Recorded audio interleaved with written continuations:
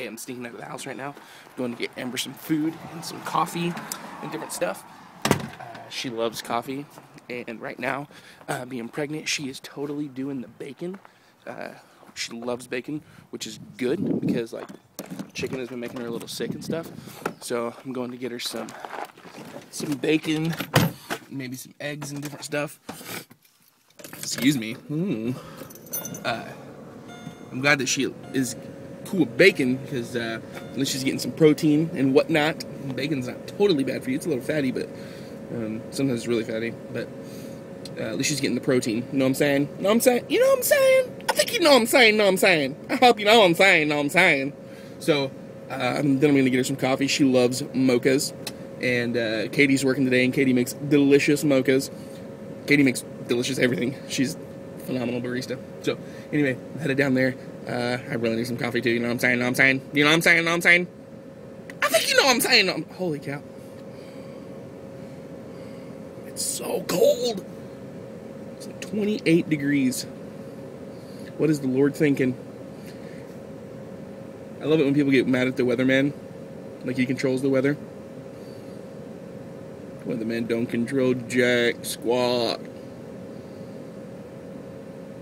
Anyway, so uh, we'll pick up in a little bit as we get some uh, coffee and some bacon and whatnot. I'm excited. I love my wife so much. She's so much fun.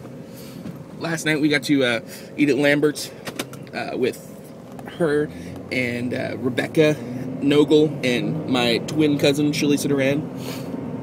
Excuse me again. And it was so much fun. Oh my goodness. Those are three of the funniest people I know. I laughed so hard. Oh my goodness. Oh, they're hilarious. I love funny people. I love people that love life and love to have fun. And Rebecca and Shalisa are definitely two of those people. And uh, Amber, man, she is she is so much fun. Nobody in this world, nobody in this world makes me laugh harder than Amber Doran. Oh my goodness, she is the funniest chick I know.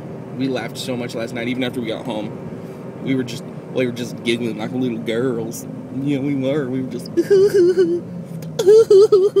That's how I laugh when I'm at home by myself. I just.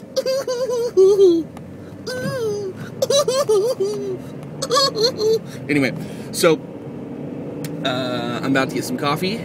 Uh, take it back to the poo because she's um, amazing.